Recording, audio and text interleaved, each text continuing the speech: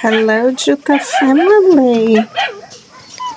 Now fully vaccinated, the four puppies that used to be in the bathroom will be going to a foster home with a view to be adopted either in Crete or in Germany.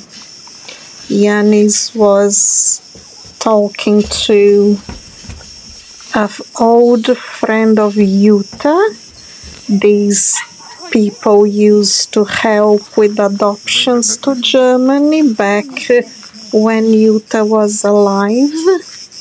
And knowing the situation in the shelter and the lack of space, they have agreed to help. So the four little babies will be going to their place and then on to an adopted house, a forever family.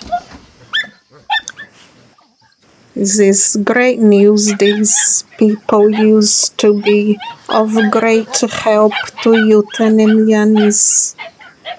Thank you very much, the family, for your support.